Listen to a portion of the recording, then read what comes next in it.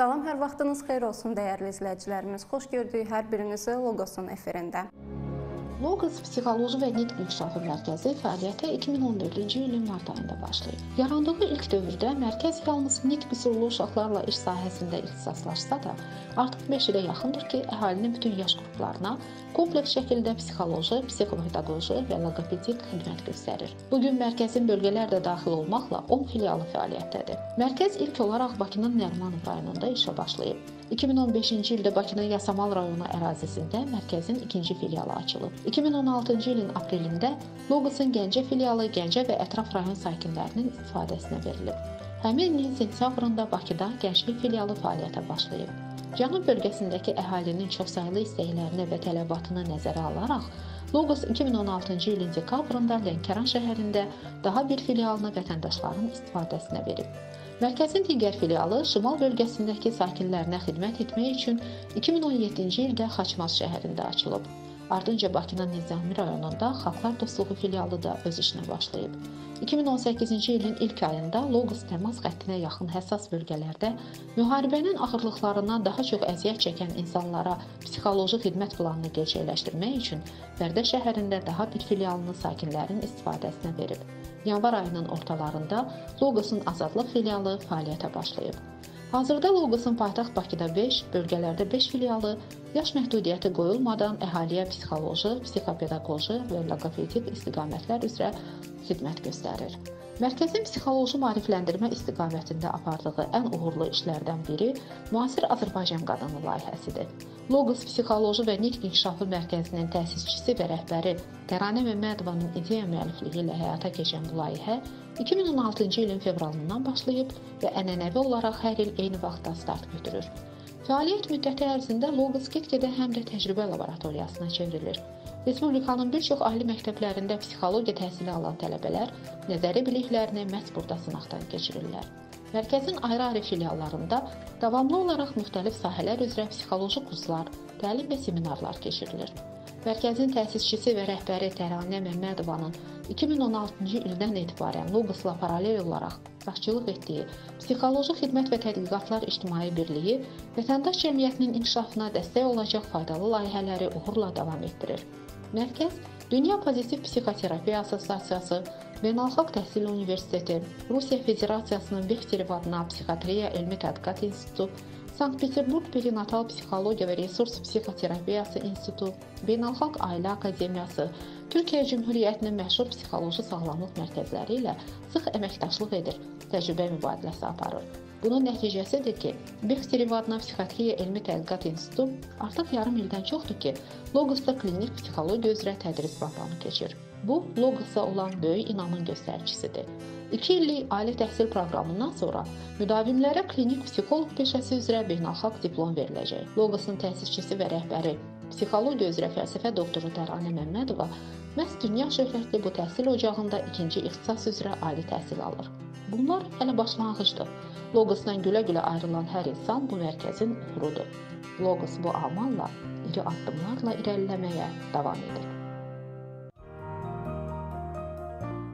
Bəli, biz bu gün də sizlər üçün aktual olan bir mövzu ilə görüşünüzə gəlmişik. Bizim bugünkü mövzumuz peyğəmbər sünnəti və peyğəmbər sünnətinin uşaqlarda yaratdığı fəsadlar barəsində olacaq və təbii ki, ümumi sünnət psixologiyasına da biz toxunmalıyıq. Aygül Məlikova, kadr hazırlığı şöbəsinin rəhbəri. Azərbaycan Dövlət Pedaqoji Universiteti Psixologiya fakültəsinin məzunudur. Təhsilini başa vurduqdan sonra ixtisası üzrə müxtəlif vəzifələrdə psixoloq, baş psixoloq, direktor olaraq çalışmışdır. Türkiyə, Rusiya, Kipr, İsraildə keçirilmiş müxtəlif kurslara qatılmışdır. Bir sıra beynəlxalq layihələrin və təlimlərin iştirakçısı kimi sertifikatlarla tərtib edilmişdir. Ümumrusiya Psixoterapevtlər Liqasının həqiqi üzvüdür. Hazırda Logos Psixoloji və Nitq İnkişaf Mərkəzində kadr hazırlığı şöbəsinin rəhbəri vəzifəsini icra edir. Öncə mən sizə qonaqlarımı təqdim edim. Mənim bugünkü qonağım Moskva Psixoanaliz Universitetinin və Avstriya-Viyana İnstitutunun məzunu, Bexterev Universitetinin Azərbaycandakı koordinatoru, həkim psixoterapevt Elmir Əkbər. Xoş gəlmisiniz Elmir müəllim. Elmir Əkbər, həkim psixoloq, psixoterapevt, ekzistensial psixoanalitik, loqoterapevt, Logos Psixoloji və Nitq İnkişaf Mərkəzinin əməkdaşı, Psixoloji Xidmət və Tədqiqatlar İctimai Birliyində təkmilləşdirmə şöbəsinin rəhbəri. Azərbaycanda beynəlxalq standartlara uyğun təhsil almış ilk həkim psixoterapevt. Azərbaycan Dövlət Tibb Universitetinin Müalicə İşi Fakültəsinin, Sankt-Peterburq Bexterev İnstitutunun, Moskva Psixoanaliz İnstitutunun məzunudur. Avstriyanın Viyana Psixoterapiya İnstitutunda təhsil almış ilk Qafqazlı tələbə olmuşdur. Amerika Dövlət Departamentinin təqaüd proqramı üzrə Amerika Birləşmiş Ştatlarında peşəkar təcrübə keçmişdir. 2007-ci ildən bu günə kimi ABŞ səfirliyinin mərkəzində proqram rəhbəri və koordinator kimi çalışır. Sankt-Peterburq İnstitutunun Azərbaycanda nümayəndəsi və koordinatorudur. 2014-cü ildə Almaniyada Gənc və yeniyetmələrin destruktiv davranışının psixoloji kökləri adlı kitabı rus dilində dərc edilmişdir. Hazırda Logos Psixoloji və Nitq İnkişaf Mərkəzində psixoterapevt, psixoanalitik kimi fəaliyyət göstərir. Və German Hospitalın cərrah uroloq androloqu Vahid İsmailov. Xoş gəlmisiniz Vahid müəllim. Necəsiz? Vahid İsmailov, uroloq androloq, cərrah. 1994-cü ildə Azərbaycan Tibb Universitetinin Müalicə Profilaktika fakültəsinə daxil olmuş və 2000-ci ildə həmin universiteti fərqlənmə diplomu ilə bitirmişdir. 2000-2001-ci illərdə urologiya üzrə internatura keçmişdir. 2003-cü ildən Mərkəzi Hərbi Klinik Hospitalın urologiya bölməsində həkim ordinator vəzifəsində çalışmaqdadır. 2009-cu ildə İstanbul Universitetinin Çapa xəstəxanasında, 2010-cu ildə Ankara Eğitim Araşdırma Xəstəxanasında, 2011-ci ildə Haseki Eğitim Araşdırma Xəstəxanasında, 2013-cü 14-cü illərdə İstanbul Bezmi Alem Vakıf Universiteti Xəstəxanasında urologiya və andrologiya üzrə təkmilləşdirmə kursları keçmişdir. 2015-ci ildən Türk Urolab Dərnəyinin üzvüdür. Rumıniya, Sudan, Nigeriya, Rusiya və Türkiyədə keçirilən laparoskopik kurslarda trener olaraq iştirak etmişdir. Amerikan Endourologiya Cəmiyyətinin və Avropa Urologiya Cəmiyyətinin üzvüdür. 2018-ci ildən etibarən German Hospitalda cərrah uroloq, androloq vəzifəsində çalışır.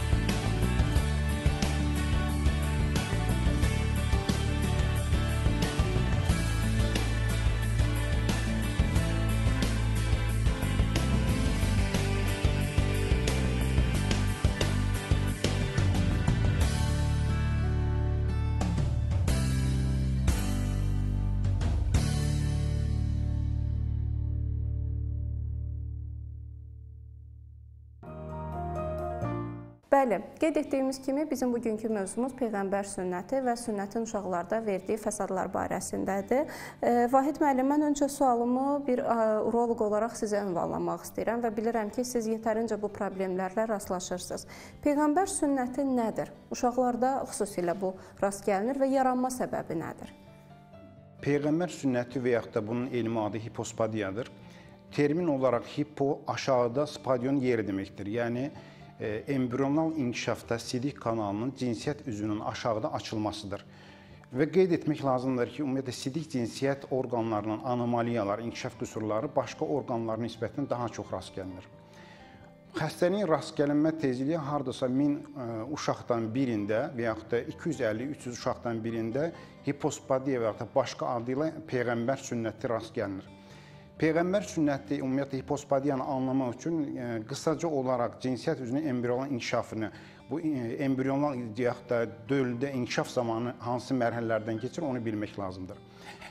Embrional inkişafda cinsiyyət üzü genital qabarcıq ya cinsiyyət qabarcığından əmələ gəlir və cinsiyyət qabarcığına doğru e, sidik kanalının yan tərəflərində genital və ya da cinsiyyət qatlantıları olur və bu qatlantılar arxadan önə doğru önə doğru inkişaf eləməyə orta xətt üzrə birləşir.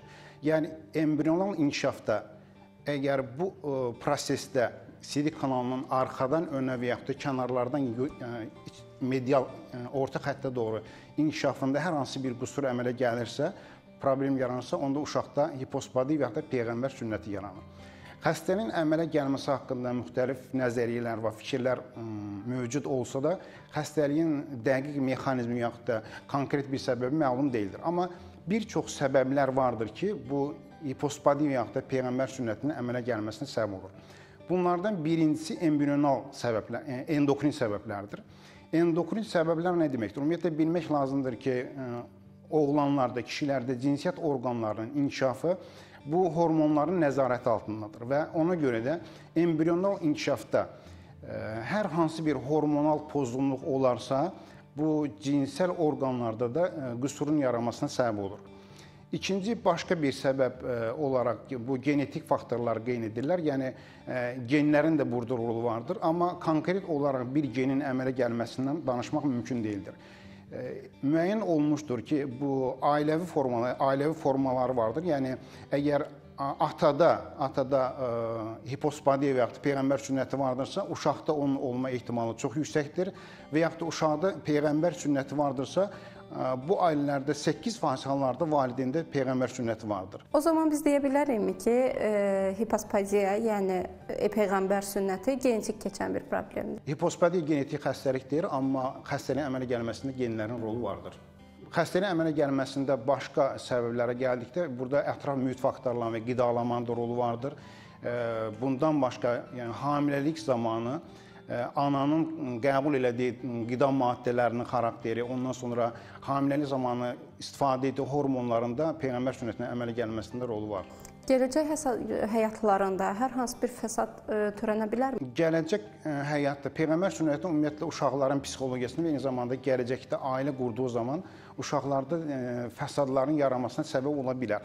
Əgər vaxtında əməliyyat olunmazsa, peyğəmbər sünnəti uşaqlarda birinci növbədə psixoloji pozğunluq yaranmasına səbəb olur və ağır formalarında, bütün formalarında deyil, ağır formalarında bunun aralıq forması var. Daha yəni e, sidik kanalının geridə açılması hallarında e, sonsuzluğa səbəb ola bilər. E, belə deyək də, düzdür, siz qeyd elədiniz ki, peyğəmbər sünnəti daha sonra uşaqlarda və yaxud da yetişkinlik yaşına çatandan sonra onlarda psixoloji problemlər yarada bilir. Belə deyək ki, ümumiyyətlə sünnət psixologiyası deyə bir şey var və e, sünnət olunma yaşı var və uşaqlarda da bu qalıcı fəsadlar da verir deyə düşünürəm. Siz necə düşünürsüz Elmir müəllim bir e, həkim, psixoterapevt kimi? Ümumiyyətlə mən sizə deyim ki, ələxüsusda şərq ölkələrində bu məqamlar çox həssasdır. Və biz bilirik ki, oğlan uşağına əlahiddə bir münasibət var və onun hər hansı bir belə deyək ki, xırda bir psixoloji travması varsa belə, bu gələcəkdə onun həyatında çox ciddi izlər buraxa bilər. Və biz bilirik ki, insanın nəsl artırma funksiyası da, digər funksiyaları da onun özünə verdiyi qiymətdən çox asılıdır. Əgər insan özünü nədəsə fərqli hiss eləyirsə başqalarında, onda onun demək olar ki, bütün həyatında bu özünü ciddi natamamlıq kompleksi şəklində biruzə verə bilər. Zaten biz bilirik ki, o proses ki aparılır, sirkumsiziya bu ümumiyyətlə, yəni loru dildə desək, o sünnət prosesi, o ümumiyyətlə insan üçün müəyyən qədər psixoloji travmadır. Və indi bugünkü gün çox çərki tartışılan, mübahisə olunan bir məsələdir. Neçə yaşında olmalıdır, hansı yaşda olmalıdır? İndi deyirlər ki, daha az yaşda olmalıdır, ancaq bunun da öz problemləri var. Ümumiyyətlə mən sizə deyim ki, Amerika Akuşer və Ginekoloqlar Akademiyası körpü uşaqlarda sünnət prosesinin aparılmağının tam əleyhinədirlər.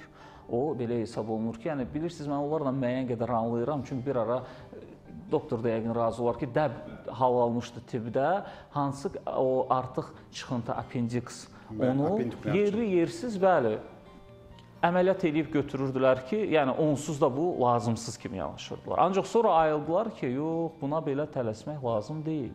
Yəni o təbiətin quruluşuna müəyyən bir müdaxilə eləməzdən qabaq, orada bir sıra faktorları mütləq nəzərə almalıdırlar. Məsələn, inkişaf eləmiş ölkələrdə fikirləşirlər ki, uşaq müəyyən yaşa çatıb öz fikir, söz sahibi olmalıdır. Ondan sonra onun fikrinin, onun razılığını əldə edib bu əməliyyata keçirmək lazımdır.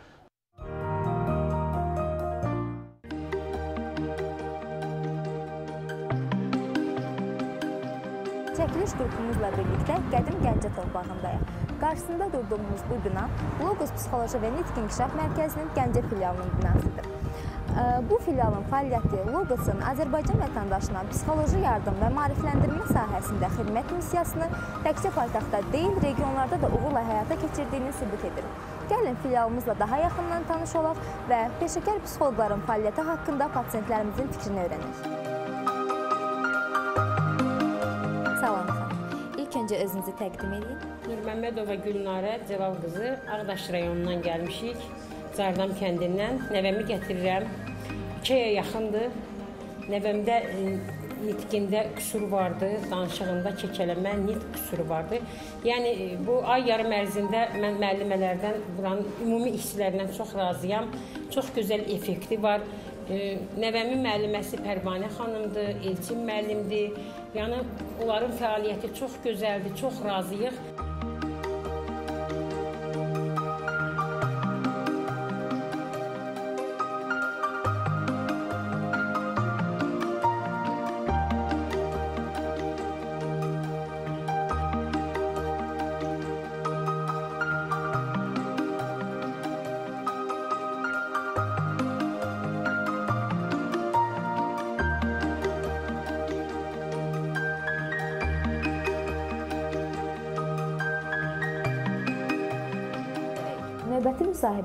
Logos'un Gəncə filialının baş psixoloqu Lyudmila xanım Mansurovadır. Lyudmila xanım, artıq 2 ildən çoxdur ki, Gəncə filialı fəaliyyət göstərir. Görülən işlərlə bağlı nə demək istəyərdiniz? Xoş gəldiniz bizim filialımıza və biz çox şadıq ki, sizi görürük. Biz çox şadıq ki, biz bu filialda işləyirik və o cürə fəaliyyət bütün bizim Gəncə ətrafım, ətrafımızda olan rayonlara göstəririk. Həddindən artıq çox uşaq müraciət eləyir və həddindən artıq ciddi rejimində işləyirik və biz sizin qulluğunuzdayıq.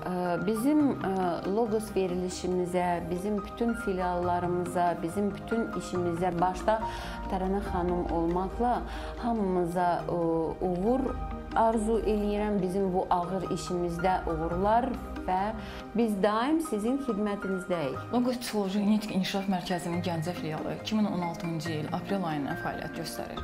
Hər filialımızda olduğu kimi bu filialımızda da böyüklər və uşaqlar üçün e, psixoloji, e, pedaqoji, loqopedik, müalicəvi idman, müalicəvi massaj, art terapiya fəaliyyət göstərir. Xatırladaq ki, Gəncə, Gəncə ətrafı rayonlar bizim xidmətdən istifadə e, yararlana bilirlər. Terapiyanın müsbət nəticələri bizi daha çox işləməyə e, stimul verir.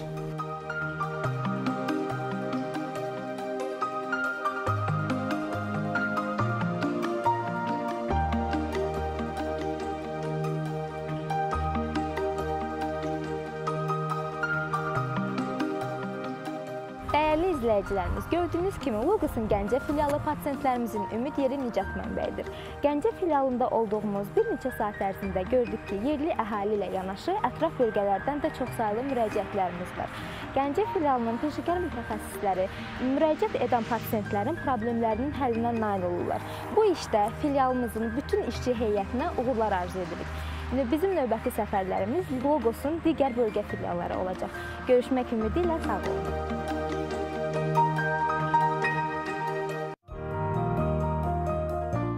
Yəqin doktor da təsdiqləyər ki, e, sünnətin erkən e, olmasının da əsas səbəbi həm də sidik kanallarında problem yaranarsa baş verir, düzdürmü? Mən onu da qeyd edim, ümumiyyətlə hipospadiya müəyyən qədər danışdıq. Bu psixoloji sorundan öncə birinci növbədə uşaq üçün ciddi medikal problemdir. Bəli. Çünki ə, hipospadiya deyən peyğəmbər sünnəti bir neçə qüsurun bir yerdə rast gəlməsidir. Bunlar hansılardır? Birinci növbədə cinsiyyət üzünün quruluşunda defekt var. İkinci sidik kanalı dediyimiz kimi normal yerində deyil, aşağıda açılmışdır. Bu aşağıda açılmaqla bərabər əksər hallarda sidik kanalının diametri dardır. Və uşaq sidiyə gedəndə normal sidiyə getmir.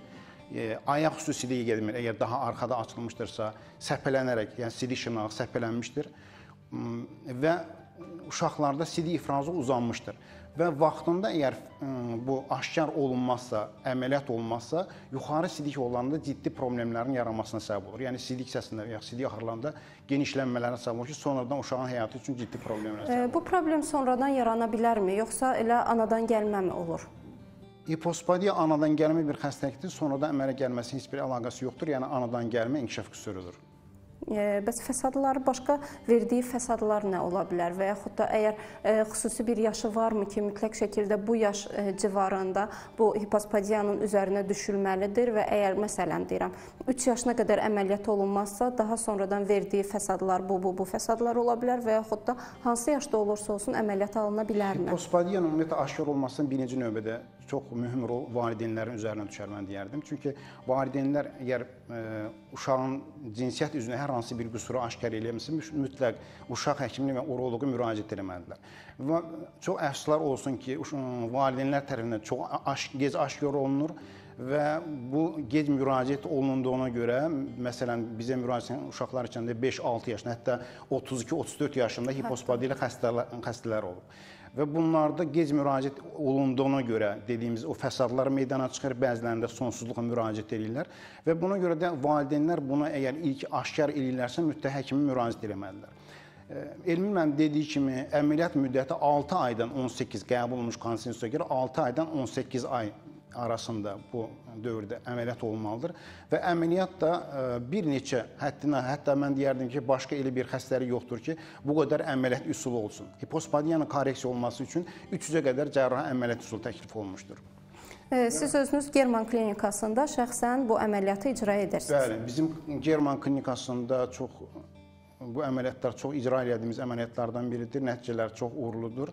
Amma yenə dediyimiz kimi bu əməliyyatın xarakter xüsusiyyətlərindən biri də fəsadların olmasıdır. Yəni valideynlər qəbul eləməlidirlər ki, bu əməliyyat özü bir çox fəsadlarla müşahidə olunur. Təşəkkür edirəm mən sizə.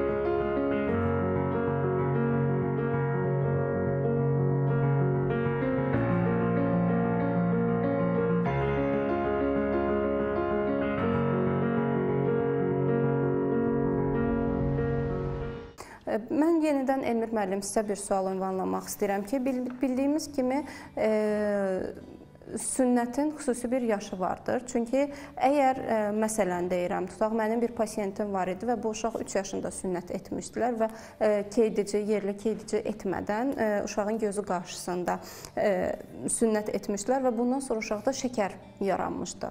Ə, bir başqa uşaqda artıq öz ə, cinsiyyətini ignor etmə problemi ilə biz üzləşmişdik. Digər bir uşaqda isə artıq ə, asosiallaşdığını və özündən bir hissənin itdiyinə görə digər insanlardan fərqləndiyi düşüncəsi yaranmışdı və e, doğru şəkildə uşaqlara göstərilmədiyi təqdirdə, hər kəsə aşkar formada bunlar olunduğu təqdirdə biz bilirik ki, uşaqlarda içinə qapanmalar və paralelliyində həyəcan təşviş pozuntuları yaranır. Həkimlərdən qorxmağa başlayırlar. E, bu problemlərin altında məsələn valideynlər nəyə görə düşünürlər ki, mütləq şəkildə biz e, uşağımızın sünnətini toy halında verməliyik, hər kəsə biz göstərməliyik, nümayiş etdirməliyik ki, bizim övladımız artıq kişi oldu və kişi kişiliyi bununla ölçürlər. Səbəb nədir?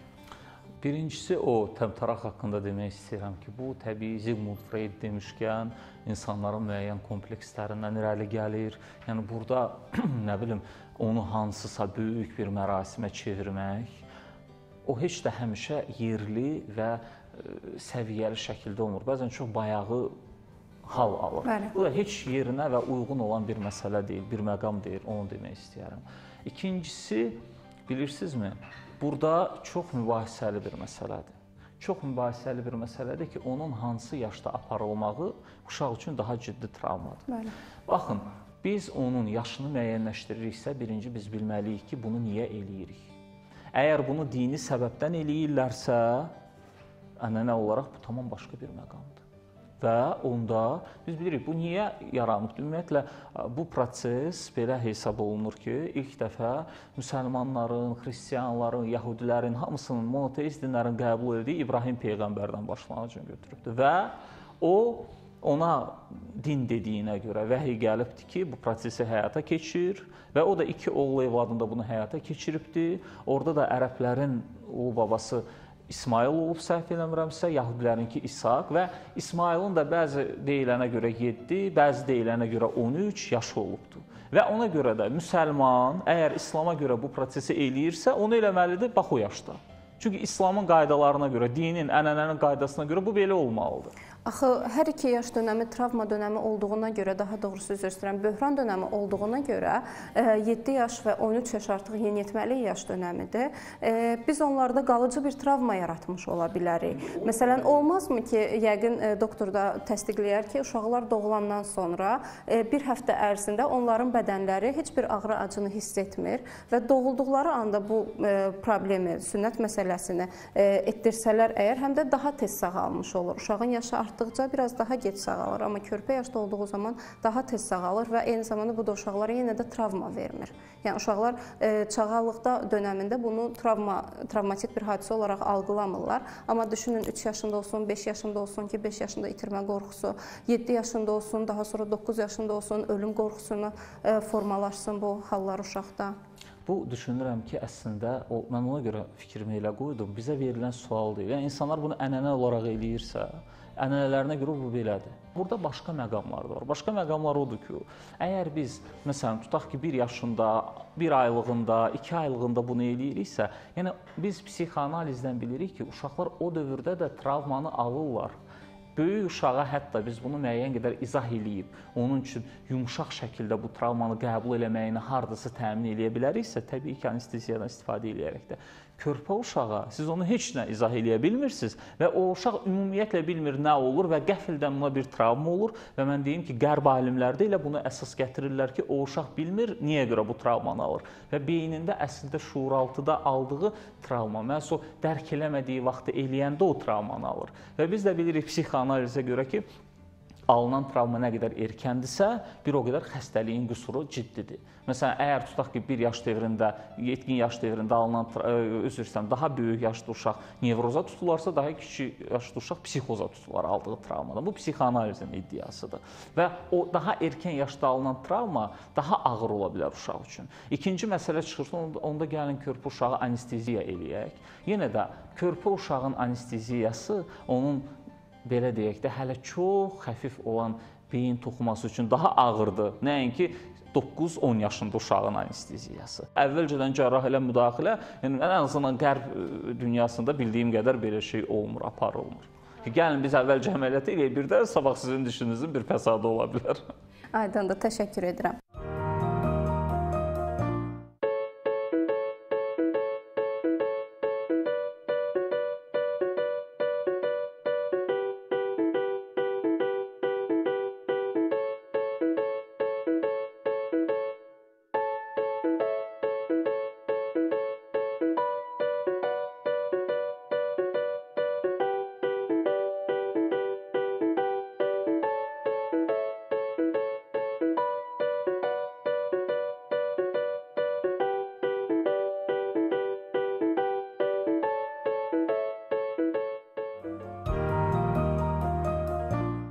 Hal-hazırda bizim studiyamızda işinin əsl peşəkarı e, bir e, cərrah, uroloq, androloq əyləşib və mən e, istəyirəm siz burdan valideynlərə bildirəsiniz ki, valideynlər istər məsələn bayaq da qeyd elədiniz ki, bəzisi bilməyib 31 yaşında, 7 yaşında, 8 yaşında. Bu peyğəmbər sünnətinin ilkin əlamətləri varmı? Yəni bir valideyn övladının bu problemlə əziyyət çəkdiyini necə bilsin ki, mənim övladım hal-hazırda bu problemdən əziyyət çəkir? Çox gözəl sualdır. Valideynlər ümumiyyətlə hipospadiya görünən bir orqan olduğuna görə və hər bir valideyn onu görə bildiyinə görə, yəni bunun diaqnostikası valideynlər tərəfindən çox asanlıqla yəni, mən deyərdim ki, qoyula bilər. Yəni, görülə bildiyinə görə hər bir valideyn çox erkən bir dövrdə gördüyü anda ə, həkimə müraciət edə bilər. Bu birinci məqamdır. Yəni burada ə, bunu gözləməyin heç bir anlamı yoxdur. Və bizim daha çox rast gəlmə məsələ nədir? Yəni valideynlər bu peyğəmbər sünnəti deyərək onu ya sünnət elətdirmir və yaxud da həmin vaxtda məsələn başqa bir ixtisas deyəlim ki, pediatrlar tərəfindən yaxud da bunu bilirsə, yəni uroloq olmayanlar və yaxud da uşaq cərrahı olmayanlar tərəfindən sünnət əməliyyatı icra olunur. Və bu əməliyyat bu doğrudurmu? Doğru deyildir və əsas problem də, yəni xüsusilə bizlərin üzləşdiyimiz problem onda başlayır. Çünki bu uşaq əgər sünnət olunarsa, ondan sonrakı artıq əməliyyatda ciddi problemlər yaranır. Nəyə görə? E, hipospadiya əməliyyatı, o əməliyyat zamanı bizim, yəni cərrahların, uroloqların istifadə etdiyi e, material o pülük dərisidir. Yəni cinsiyyət üzünün dərisidir. Yəni onun arxa tərəfində qismən də olsa bir dəri e, qalır, yəni pülük qalır və əməliyyat zamanı biz həmin dəridən istifadə edirik. Və mənim vurğulamaq istədiyim, yəni bu cür uşaqlar heç vaxt sünnət olmamalıdır. Yəni uroloq, androloq tərəfindən artıq əməliyyat zamanı sünnət olmalıdır. Çünki əməliyyatdan qabaq bu uşaqlar sünnət olunarsa və sonra da əgər androloq gətirilərsə, əməliyyat zamanı əlimizdə heç bir material olmur və material olmadığına görə artıq məcburən bütün dünyada qəbul olunub başqa nahiyələrdən toxuma götürmək məcburiyyətinə qalırıq. Bu da nədir? Biz ya dodağın içərisində seylik şardan material götürürük ya yanaq içərisindən və bu isə fəsadların daha çox olmasına gətirib çıxarır. Yəni əsas məsələ nədir? Əgər peyğəmbər sünnəti vardırsa, bu uşaq sünnəti ilə daha heç yerə aparmayaq. Bu yanlış bir şeydir. İkincisi, əgər peyğəmbər sünnətidirsə, mütləq androloq tərəfindən baxılmalı, hipospadi və ya da peyğəmbər sünnətidirsə, əməliyyat olunan zaman sünnət olmalıdır ki, həmin material qalsın. Və bir də mən Elmir mənim dediyi şey mövzuya toxunmaq istəyirəm. Bu erkən dövrdə, məsələn, bu əməliyyat özü də 6 aydan 18 aya qədər, yəni erkən dövrdə də əməliyyat olması ə, qəbul olunmur, yəni doğru hesab olunmur. Çünki həmin mərhələdə, erkən mərhələdə anestezioloji risk yüksəkdir. Bəli. Və ona görə də çox, çox yəni müəyyən olunub ki, məsələn, erkən, məsələn, 2 aylıq uşaqda anestezioloji risk 6 və yaxud da 1 yaşlı uşaqlara nisbətən daha yüksəkdir. Ona görə də 6 aydan sonra, bundan başqa burada anaya bağlılıq məsələlər, başqa faktorlar da var. Ona görə də ən uyğun zaman 6 ay, 18 ay hesab olunur. Və 18 aydan sonra da nəyə görə qəbul olunur? Daha gec dövrlərdə artıq ə, e, həmin uşaq yaşıdlarında daha fərqli görür, onların siriyə getməsi daha fərqli gördüyünə görə, yəni onlarda psixoloji sorun yaranır və valideyndə bu nəyə görə belədir, belə suallar meydana çıxır. Və eyni zamanda icazənizlə mən istəyirəm bax bu haqqında danışdığınız patologiyanın sırf psixoloji bir məsələsində vurğulayım ki, yəqin doktorumuz da təsdiqləyər ki, ümumiyyətlə bugünkü gün nəsil artırma problemi olan, ailə münasibətlərində problem yaşayan kişilərdə bax o problem, o potensiya problemi o e, qorxduqları o impotent sözünün 99-90% orada psixoloji faktorların rolu çox aparıcıdır. Və yerdə qalan hallarda da əsas orqanik səbəb olsa da belə sonradan psixoloji faktorlar qoşulur ora. Və bu düzgün, doğru psixoterapiya aparılmadan görürsüz ki, heç aradan qaldırmaq da mümkün olmur. Amma eyni zamanda təsəvvür edin bir də insanın belə bir fərqliliyi var. Siz demişkən və bu artıq əvvəldən özünü fərqli olaraq görür və bunu özünə kompleks eləyir. Belə olanda artıq onun psixoloji səbəblərdən yaşayacağı impotensiya, potensial problemi sözsüz labüddür. Və burada mən düşünürəm ki, mütləq düzgün, doğru mütəxəssis Düz deyirsiniz ki, pediatra qaçırtmaq falan lazım deyil, mütəxəssisə gətirmək lazımdır və paralel də yeri gələndə müəyyən yaş dövründə əgər o insanda bu müşahidə olunursa ki, artıq nəsil artırma funksiyasında onun problem yaradır, orada müəyyən psixoterapiya, psixoloji konsultasiyalar da vacibdir. Təşəkkür edirəm. Vahid müəllim, siz e, bildiyimiz kimi German Hospitalda çalışırsınız və German Hospital həqiqətən də e, tibb sahəsində öz sözünü demiş həkimləri cəmləşdirir özündə.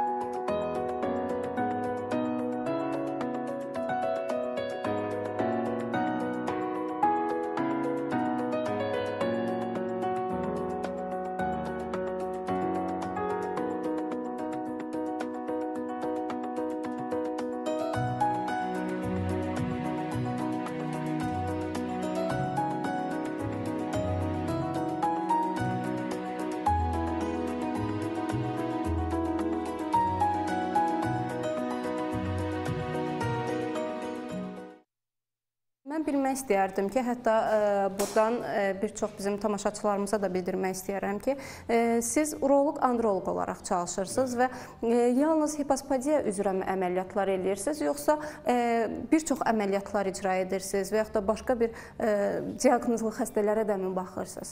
Deməli, andrologiya urologiyanın tərkib hissəsidir. Yəni uroloji xəstələrlə bərabər androloji xəstələrə baxılır, amma bizim fəaliyyətimiz, yəni German Qostalda elədiyimiz, apardığımız əməliyyatlar təkcə androloji əməliyyatlarla kifayətlənmir. Bura həm laparoskopik əməliyyatlar, endoskopik əməliyyatlar, açıq əməliyyatlar biz tərəfdən, kollektiv tərəfindən German Qoçtalda uğurlu həyata keçirməkdədir. Məsələn, böyrək problemlərinə baxırsınızmı? Bəli, böyrək daşları, böyrəyin şişləri, böyrək kistaları, sidik kisəsinin daşları, prostat vəzinin xəstəlikləri, sidik axarının daşları, yəni geniş spektrdə əməliyyatlar icra olunmalıdır. Əməliyyatlar və yəqin ki, müalicələr də Təbii ki. paralel həm şəkildə Konservativ çalışırsınız. müalicəsi həm də cərrahi əməliyyatları icra E, Vahid doktorun qəbuluna yazılmaq istəyən tamaşaçılara e, isə mən bildirmək istəyirəm ki, bunun üçün sadəcə olaraq German klinikası ilə əlaqə saxlaya bilərsiniz. German klinikasının əlaqə nömrələri isə 012 538 66 62 nömrələridir. E, çox gözəl mövzumuz e, həqiqətən mənim üçün çox maraqlı bir mövzudur. Çünki belə deyək də, insanlar üçün eyni zamanda xüsusilə də valideynlər üçün övladlarının erkən yaşda aldıqları travmaların onların gələcək həyatlarında yaratdıqları e, fəsadlara çevrilməsi böyük problemdir. E, Siz qeyd elədiniz ki, məsələn, e, bunun gecikmə hallarındakı fəsadları eyni zamanda sonsuzluqdur. Amma maksimum neçə yaşına qədər e, bu əməliyyatı icra etmək olar? Məsələn, xüsusi bir yaşı varmı ki, mütləq şəkildə bu yaşda, bu yaşa qədər olmalıdır əməliyyatı? Qəbul olunmuş e, konstitusiyaya görə bu uşaqlar 6 aydan 18 aya qədər əməliyyat olmalıdır. Yəni 6 aydan öncə və yaxud da doğuşdan əgər bu uşaqda bu qüsur aşkar olmuşdursa, bu uşaqlara mütləq bu yaş dövründə əməliyyat olmalıdır. Amma əfsuslar olun ki, uşaqların, yəni valideynlər tərəfindən müraciət daha gec dövrlərdir. 5 yaşda, 6 yaşda, dediyimiz kimi 14 yaşında müraciət edən Bu halda əgər ə, valideynlər tərəfindən o yaxud da uşaq müraciət edibsə ə, klinikaya, hər hansı bir xəstəxanaya, həmin yaşda mütləq əməliyyat olmalıdır. Yəni dediyimiz kimi bu işi bilən cərrahlar tərəfindən, uroloq-androloqlar tərəfindən əməliyyat olmalıdır. Və əməliyyat olmanın ə, əsas zəruri səbəblərindən biri budur ki, qeyd elədim, hipospadiyada bir neçə qüsur bir yerdə rast gəlinir və həm uşaqlarda, o yaxud gənclərdə bu psixoloji problem törətməklə bərabər gələcəkdə o cinsel əlaqə zamanında problem yaranmasına gətirib çıxarır. Bu cinsiyyət üzünün əyrilidir. Çünki cinsiyyət üzünün əyriliyi də hipospediya əsas ayrılmaz tərkib hissələrindən biridir. Bu da müxtəlif dərəcədə olur. Məsəl üçün daha yüngül formalarda cinsiyyət üzünün əyriliyi daha az olsa da, ağır formalarda cinsiyyətin ciddi əyriliklər yaranır. Buna görə də e, valideynlər tərəfindən və yaxud da xəstə nə vaxt müraciət eləyirsə, əgər dediyimiz yaş dövründə müraciət olunub, əməliyyat olmamışsa, müraciət elədiyi zaman mütləq əməliyyat olmalıdır. E, təşəkkür edirəm. E, bir də son olaraq belə bir sual ünvanlamaq istəyirəm mən sizə. E, düzdür, qeyd elədiniz ki, mütləq şəkildə həmin dövrdə, e, məsələn, əməliyyat əsnasında uşaqlar yenidən sünnət olunmalıdır. E, bəzən olur ki, məsələn, mən bu problemlə biraz daha çox rastlaşıram. Məsələn, valideynlər gəlirlər və bildirirlər ki, e, uşaqda peyğəmbər sünnəti idi. Məsələn, biz əməliyyatdan sonra uşağı e, sünnət etmişik. Belə bir şeylər olurmu? Çünki siz Ümumiyyətlə, qeyd elədiniz ki, əgər əməliyyat bu əsnasında olmalıdır, androloq amma müraciət edibsə, əməliyyatdan sonra uşağın sünnət olması mümkün deyildir. Bəli. Çünki mütəxəssis onu əməliyyat elədiyi zaman əməliyyatın əsas, yəni cərrah tərəfindən qoyun, qarşı qoyulan hədəflər var. Bu yəni hipospadiya əməliyyatı icra olunarkən birinci növbədə sünnət olmalıdır. Yəni cinsiyyətin dərisi formalaşdırılmalıdır estetik olaraq. İkinci e, sidik kanalı tam yerinə, yəni cinsiyyətin ucuna gətirilməlidir və əyrilik varsa cinsiyyət üzünə əyrilik düzəlməlidir. Yəni bu əməliyyatdan sonra uşağın sünnət olması imkansız bir şeydir. Yəni mümkün deyil. Aydındır, təşəkkür edirəm. E, Elmir müəllim, e, mən sualımı sizə ünvanlamaq istəyirəm. E, sualım nə olacaq sizə? E, deməli, ən çox rastlaşdığımız problemlərdən biri də budur. Məsələn, kişilər e, müraciət etdikləri zaman və yaxud da analar olsun, bizə müraciət etdikləri zaman bildirirlər ki, övladları özlərini dərk etdiyi zaman bunu etsinlər. Özlərini dərk etdiyi zaman, yəni bir insanın gözü görə-görə ətindən bir parçanın kəsilməsi onda e, mazokizm və yaxud da sadizm yarada bilərmi? Mən belə müşahidə eləyirəm ki, adətən ənənə üzrə aparılan bir proseslərə hansısa müdaxilə olanda, onda nəsə dəyişiklik eləyəndə fərqli də nəticələr və fəsadlar əldə etmiş olur. Bəli. Məsələn, əvvəllər dədə-babadan İslam dininin qaydasına görə dediyimiz kimi müəyyən yaşa çatanda artıq bu əməliyyat olunurdu. Amma indi məsələn daha erkən körpə yaşında bu əməliyyatı eləyirlər. Sizcə nəsil artırma problemi gənc ailələrdə indi çoxdur yoxsa əvvəl çox idi? Təbii ki, hamı deyəcək indi bu problem daha çoxdur. Mən demirəm ha bu 100% onunla bağlıdır. elm belə bir anlayışdır ki, orada bir şeyi 100% sübut eləmədən iddia eləmək olmaz. Mən sadəcə ehtimal eləyirəm ki, bəlkə elə bir səbəb də budur. Biz bu prosesə bir müdaxilə eləmişik və nəticə də ola bilsin ki, elə göz qabağındadır. Bununla nəticələnir. Və yenə də burada çox məqamlar var. Uşağın körpə yaşında onu yaşamağı, o ağrını yaşamağı o da bir travmadır. Dərk eləyən bir insana izah eləmək ki, bu proses olur, ola bilsin ağrılıdır, amma sən bu prosesi keçməlisən. Diş çəkilmə prosesi kimi. Ağrılıdır, ağrılıdır. Dözürük, dözürük. Dərk eləyəndə travmanı yaşamaq daha rahat olur. Nəinki dərk eləmədən o travmanı, o yenə ağrı hiss eləyirsə, onu dərk eləmirsə, o onun üçün daha ağır travmadır. Və yenə də psixoanalizdə alınan travmalar nə qədər erkən olursa, onların fəsadları bir o qədər dərin olur. Ona görə də mən düşünürəm ki, bu məsələ hələ çox, deyir, bu xəmir hələ çox, çox aparacaqdır. Çox müzakirə olunmalı bir məsələdir ki, mütəxəssislər psixoloqlar, psixoanalitiklər, uroloqlar oturmalıdırlar. Bunu hər tərəfli və müəyyən bir elmi işlər olmalıdır ki, bu sübut olunsun. Çünki öz aramızdır. Amerika bugünkü gün bütün dünya elminə diktə oxuyan bir elmə sahib bir ölkədir və onlar deyirlər ki, yox, onlar buna izin vermirlər. Hətta onlar tələb edirlər ki, etik səbəbdən o uşaq söz haqqı əldə edəndən sonra hansısa bir əməliyyatı, müdaxiləni ona eləmək mümkündür. Və bundan da əlavə bilirsinizmi, hə, bu hələ bu prosesin özü həmişə bir müzakirə obyektidir ki, ehtiyac yoxkən bunu eləmək, yenə deyirəm, ənənəni qoydum bir kənara. Sadəcə ehtiyac yoxkən bunu eləmək bəzən görürsüz ki, deyirlər ki, onsuz da o əməliyyat özü hissiyatda müəyyən azalmaq yaradır, belə qəbul olunur. Bəzən ümumiyyətlə hissiyatı itirməyə də gətirib çıxarda bilər. Lazımdırmı ehtiyac yoxkən bu oyunu oynamağa? Əgər heç bir ehtiyac yoxdur ki, bu əməliyyatı elə, əgər orada müəyyən qədər risk varsa, hissiyat itirmək riski varsa, niyə görə bu riskə getmək lazımdır ki? Yenə də bu məsələ çox müzakirə olunmalı olan bir məsələdir. Mən sadəcə olaraq dönə-dönə vurğulamaq istəyirəm ki, kişilərin bütün cinsi nəsil artırma, potensiya problemlərində psixoloji faktor aparıcı rol oynayır. Bir Və onu həll eləmədən demək olar ki, uğurlu bir nəticə əldə etmək heç vaxt mümkün olmur. Çox yaxşı olar ki, bu məsələlər çox hər tərəfli, köklü analiz elənilir. Bu məsələləri həll etmək üçün də dəyərli izləyicilərimiz bir mənalı olaraq androloqun dəstəyi, yəni Vahid İsmayılovun dəstəyi və həkim psixoterapevtimizin e, e, Elmi Rəkbərin dəstəyi sizə bir mənalı şəkildə lazımdır. Bəzən olur ki, insanlar bundan utanırlar, çəkinirlər, bunu bildirmirlər və sonda bu səbəbdən qaynaqlanaraq intihara qədər belə davam edir bu proseslər. Bəli, o qədər gənc oğlanlar intihar edir. Kim nə bilir nə səbəbdən edir? Altını eşələdiyimiz zaman isə deyirlər içinə qapanıq idi, çox sakit idi, çox fağır idi. Amma biz baxırıq ki, bunun dərinliyində yatan androloji və yaxud da psixoloji, psixiatrik bir səbəblər də ola bilər.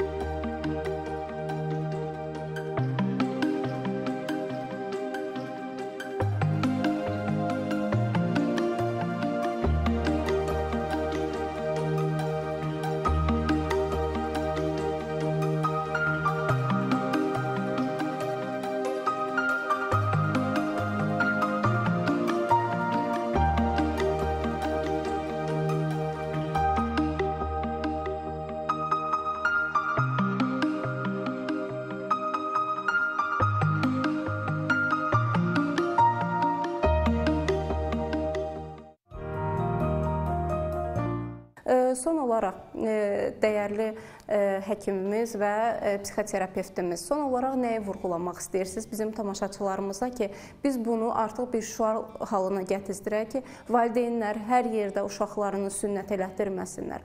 Əsl işinin peşəkarını aparsınlar. Hər bir məsələn 2 gün gedib kurs keçib saxta diplom alan həkimlər də var. Saxta psixoloji belə deyək də diplom alıb əslində baxırsan ki, gimnastdır, gəlib burada psixoloji psixoloji e, xidmətlər göstərir. Amma nə German hospitalda, nə Logos Psixoloji və Nitq İnkişaf Mərkəzində siz belə bir e, problemlə rastlaşmayacaqsınız. Çünki həqiqətən işinin peşəkarları çalışır bu mərkəzlərdə. Siz son olaraq nəyi bildirmək istəyirsiniz? Mənim son olaraq qeyd etmək istədiyim məqam odur ki, valideynlər birinci növbədə xüsusilə oğlan uşaqlarına daha diqqətli olsunlar. Əgər bu qüsurların gələcəkdə problem çıxarmasını istəmirlərsə, fəsadlar nəticələmək istəmirlərsə, uşaqların doğru müayinəsi çox önəmlidir. İkinci növbədə e, bununla əlaqədar olaraq mütəxəssislərin, uroloq, androloq tərəfindən uşaqların müayinə olunması və doğru və düzgün diaqnoz qoyulması çox önəmlidir. Üçüncü, əgər uşaqlarda hipospadiya və peyğəmbər sünnəti aşkar olmuşdursa, bunun başqa mütəxəssislər, cərrahlar tərəfindən, başqa mütəxəssislər tərəfindən məhz uroloq, androloq tərəfindən baxılması və əməliyyat olunması önəmlidir. Çünki bu uşaqların başqa mütəxəssislər tərəfindən doğru düzgün əməliyyat olunmadan sünnət olması gələcəkdə uroloq, androloq tərəfindən, yəni bu işini gözəl bilən mütəxəssislər tərəfindən belə əməliyyatın ciddi fəsadların yaranmasına səbəb olur. Axırıncı uşaqlar əgər peyğəmbər sünnəti ilə doğulub və valideynlər tərəfindən aşkar olmuşdursa, gələcəkdə yuxarı sidik yollarında fəsadların olmaması üçün uşaqların bu cür uşaqların erkən əməliyyat olması çox önəmlidir. Təşəkkür edirəm Vahid müəllim. Dəyərli vaxtınızdan ayırıb e, bizim e, verilişimizə qatıldınız və e, bizim tamaşaçılarımızı mən inanıram ki, siz ətraflı şəkildə məlumatlandırdınız. Bunun üçün sizə bir daha təşəkkürümü bildirirəm və eyni zamanda German klinikasına təşəkkürümü bildirirəm ki, bu cür gözəl dəyərli həkimləri öz klinikalarında birlikdə cəmləyə bilər. Elmir müəllim, dəyərlimiz, əzizimiz, son olaraq tamaşaçılarımıza nəyi bildirmək istəyirsiniz? Mən də bir psixoterapevt kimi istəyirəm bunu vurğulayam ki, heç vaxt narahat olmasınlar. Psixoterapevtin işində bizim həkim andımız var. Məxfilik, konfidensiallıq birinci yerdədir. Digər həkimlərdə də bu önəmlidir, amma psixoterapevtin işinin ən vacib göstəricilərindən biri budur. Gəlsinlər, müraciət eləsinlər, istər xanımlar, istər bəylər, əgər övladları ilə bağlı bir problemi düşünürlərsə var və eyni zamanda kişilərin yenə cinsiyyət sistemi ilə, ailə münasibətləri ilə, nəsil artırma prosesi ilə potensial problemləri varsa, onların müxtəlif şəkildə bu problemlər özlərini büruzə verə bilər. Bütün dünyada mütləq şəkildə psixoterapevtin müayinəsi vacib bir haldır. Müayinə olunsunlar, narahat olmasınlar. Orda yəni çox həssas, çox peşəkar yanaşma ilə rastlaşacaqlar. Məsələni aşkarlayaq, səbəbi ortalığa çıxardaq. Bəzən görürük ki, çox xırda bir səbəblər gələcəkdə ailə münasibətlərində çox böyük faciələrə gətirib çıxardır. Vaxtında Bəli. bu məsələlərin üstünə düşək, peşəkarcasına bu məsələni həll edək və ailə həm belə deyək, bir bioloji fərd olaraq, həm də psixoloji, mənəvi bir insan olaraq öz rahatçılığını, xoşbəxtçiliyini tapsın ki, bizim də bütün fəaliyyətimiz sırf buna yönlənibdir ki, ailələrin fiziki, psixoloji, mənəvi, sosial yaşadıkları problemlər qaydasına düşsün. Narahat olmasınlar, müraciət eləsinlər, bəylərimiz bu xidmətləri görsünlər və özləri görəcəklər ki, necə ki, bir çoxları gəlir, müraciət eləyir, istər nəsr artırma, istər cinsi fəaliyyətlə bağlı problemləri çox uğurla aradan qalxır. Onlar da bunun özləri əyani şahidi olacaq. Təşəkkür edirəm. Dəyərli izləyicilərimiz, biz daima əlimizdəki şüarımız nədir? İşinizi, sağlamlığınızı peşəkarlara əmanət etməyinizdə. Sağ olun, salamat qalın və yenə də deyirik ki, sağlamlığınızı yalnız və yalnız peşəkarlara əmanət edin.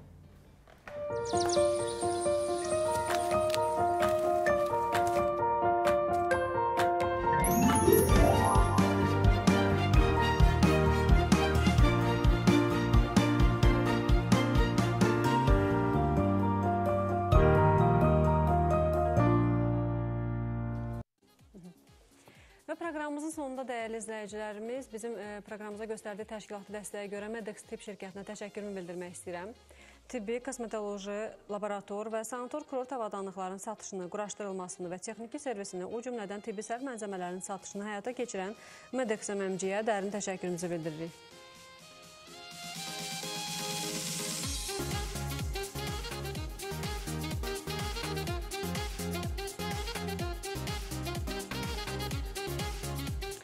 Mənim isə xüsusi təşəkkürüm həmişə olduğu kimi bir-birindən gözəl geyimlər mənə təqdim edən X-Lady mağazasınadır. X-Lady mağazası yalnız və yalnız bir ünvanda yerləşir. Neftçilər metrosunun yaxınlığında. Yaşından, ölçüsündən asılı olmayaraq hər tərzdə uyğun çox gözəl keyfiyyətli geyimlər əldə edə bilərsiniz X-Lady mağazasında. Bir daha təşəkkür edirəm. Sizinlə isə sabah yenidən görüşmək ümidi ilə tamaşaçılarımıza ayrılıram. Sağ olun, sağlamlığınızı həkim işinə etibar edin.